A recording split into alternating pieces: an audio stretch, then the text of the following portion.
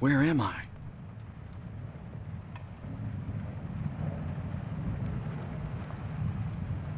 Have I been here before?